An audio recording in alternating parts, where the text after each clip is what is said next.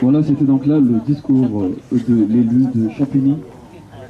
Nous avons tous été surpris de constater qui a des Congolais vraiment. C'est une va suivre, en tout cas, quelque chose à encourager en Congolais. Mais bon, il partie quelqu'un a posé la question. En plein je ne sais pas. Il aura peut-être l'occasion de préciser. Pas de problème. Nous allons continuer, nous allons, re- nous allons redemander à Ernest Léonard Koumé euh, continuer ce qu'il a commenté. Encore un téléphone. Nous allons demander à Ernest de revenir sur euh, ce podium improvisé pour la circonstance afin de présenter dans les détails le projet, le parti, l'activité, ce que vous faites. Juste après, je vais vous annoncer la suite et surtout le discours tout à l'heure de monsieur Touklé. Ernest, à toi, c'est parti.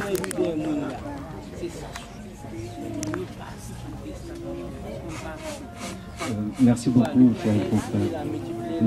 De plus. C'est très difficile quand euh, effectivement on a été nourri par euh, une parole de Dieu telle que vous l'avez réservée, en plus par vos enseignements. Il est très difficile effectivement de passer après une telle démonstration, après une telle illustration.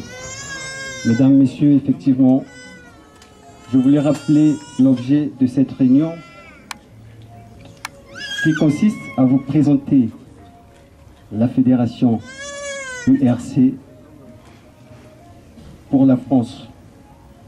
Je voulais revenir sur la naissance de ce parti qui a vu le jour effectivement en octobre 2013 à Brazzaville sous l'impulsion de l'honorable, un homme politique qui a vécu, qui a fait de la politique, qui est même promoteur, promoteur et rédacteur de notre constitution. Monsieur Dominique Vassila, effectivement, qui a bien voulu, comme on vient de le dire, avoir une visibilité au niveau de la diaspora.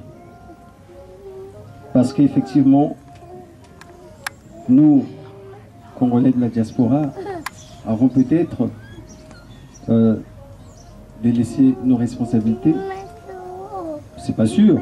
Certainement par dépit, ou par découragement, ou par manque de conviction, mais effectivement, cette impulsion fera à ce que tous ceux qui doutent, tous ceux qui ne veulent pas s'engager, tous ceux qui ont des convictions, mais qui n'arrivent pas à les mettre en lumière, puissent s'exprimer. C'est l'objet effectivement de mon acceptation personnelle et de celui certainement, je n'en doute pas, de- du président Max Toundé et de tout le bureau parce que effectivement, euh, un seul visage ne peut jamais nettoyer le visage.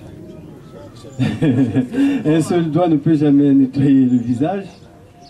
Il faut s'entourer, comme on vient de le dire. Euh, c'est une expérience pour moi qui est euh, effectivement nouvelle, mais qui me permet effectivement de pouvoir assouvir euh, toute ma soif de la jeunesse. Je me dis une chose, on a longtemps décidé pour la jeunesse. Tout ce que nous avons vécu jusque-là nous ont été en quelque sorte imposés. Chaque jeune se dit toujours pourquoi on m'impose ceci, pourquoi on m'impose cela? La seule réponse pour que désormais qu'on ne puisse plus décider à notre place, c'est de s'engager. Voilà pourquoi, par mon exemple, j'exhorte tous ceux, jeunes ou vieux ou adultes, qui ont des convictions de pouvoir s'engager pour le seul intérêt.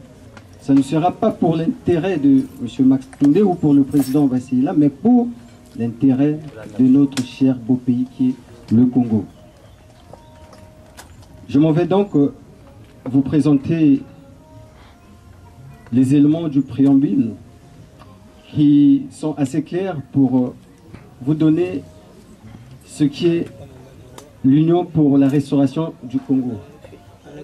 ce fondement, c'est effectivement, en tant que parti politique, c'est un fondement idéologique et je peux dire même philosophique, puisque lorsqu'on s'engage pour un parti politique, on s'engage pour ses convictions. Ce sont ces convictions qu'il faut porter au niveau du peuple pour essayer de faire changer le pays. Le premier objectif euh, qu'on se fixe, c'est l'émergence par la voie démocratique d'une société qui répond aux aspirations fondamentales du peuple congolais tel que défini par euh, nos pères fondateurs du Congo moderne. Et comme euh, je peux en citer quelques-uns, André Grenard Machua, fondateur du premier mouvement de libération du Congo, mouvement amical 1926, Jean-Félix Chikaya, on peut le citer aussi, premier député congolais, on peut citer Jacques Opango, vice-président du conseil du gouvernement du Moyen Congo. Je peux encore citer le premier président congolais, l'abbé Fulbert Loulou, premier maire noir de Brazzaville. Je voulais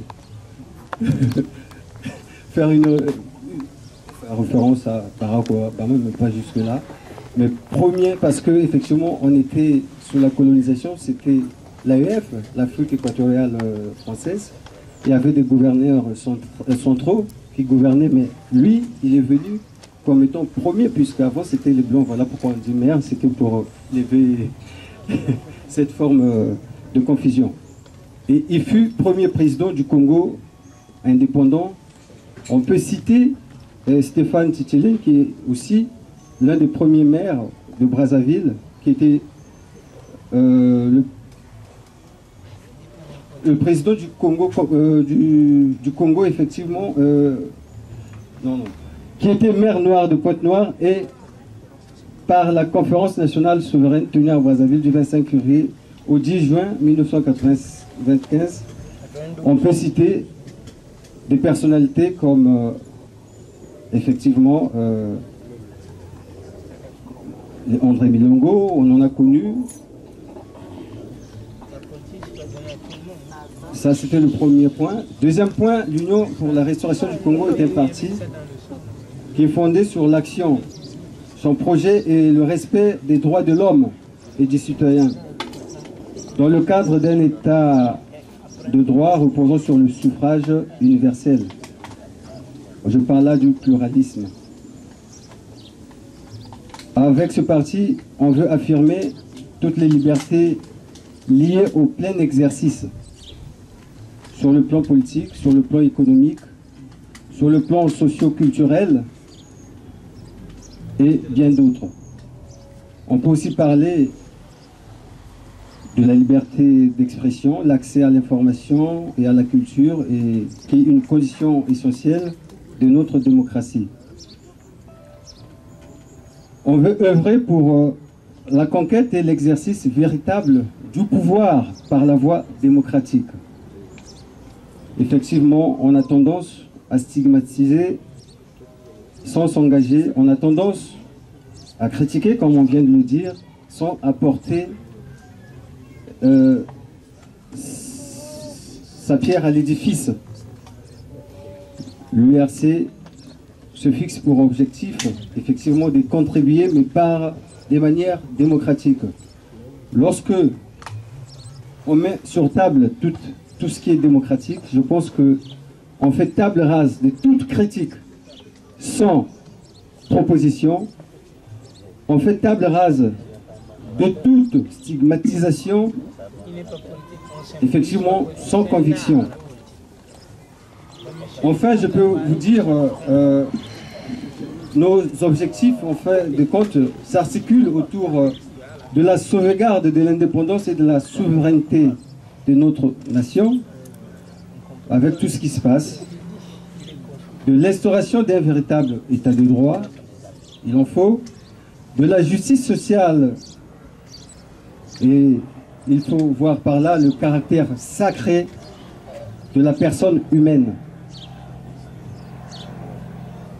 Souvent, on parle d'engagement, mais les gens parfois ne s'engagent plus dans la politique à cause du manque de la sécurité, par l'absence d'un pays de droit, on a peur, alors qu'on a des convictions. On vient de dire, nous ne sommes qu'un échantillon. Moi, personnellement, je me dis toujours que je ne suis qu'un vermisseau. Il y a des plus grands que moi. Mais si je peux m'engager en tant que jeune pour apporter quelque chose à mon pays, il faudrait qu'il y ait des garanties. Mais les garanties, c'est créé autour de ce qu'on représente. On peut se dire, effectivement, là-bas, les conditions ne sont pas réunies, mais qu'est-ce que vous proposez? Nous allons proposer, effectivement, là où il y a l'insécurité, nous allons proposer qu'il y ait la sécurité. Là où on ne respecte pas euh, la parole ou la liberté d'expression, il faut proposer avec des termes clairs, avec des convictions, avec un engagement bien précis. Aussi, mesdames, messieurs, pour ne pas vous retenir très longtemps, il fait très chaud, je transpire. Je voulais, tout en vous remerciant, de venir euh, assister à cette réunion de présentation de notre nouveau parti, euh, lever quelques malentendus qui se reposent dans l'escarcelle de l'incompréhension des Congolais, de nous Congolais qui vivons euh, en France ce qu'on appelle communément par la diaspora. Pourquoi effectivement on a voulu qu'il y ait une fédération au niveau de la diaspora? Parce que effectivement, nombreux l'ignorent. Nous avons une part importante à prendre dans la construction, dans la restauration de notre cher beau pays. Parce que souvent, lorsqu'on ne s'engage pas, qu'est-ce qu'on dit? Mais effectivement, les gens qui sont partis en France ou qui habitent aux États-Unis, ils ont tout réussi. Qu'est-ce qu'ils en ont foutre avec ceux qui sont restés Ils ne nous regardent même pas. Mais quand ils viennent, ils nous regardent même de travers. Deuxième point, on dit souvent, mais ils ont réussi. Ou qu'est-ce qu'ils ont s'occuper de la politique ou de la restructuration, de la reconstruction de notre pays, de l'économie. Non. Nous allons effectivement, à travers cet engagement démontrer effectivement que la diaspora a sa part très importante à prendre dans la restauration, dans la reconstruction de notre pays, mais par des voies démocratiques, comme je viens de le dire.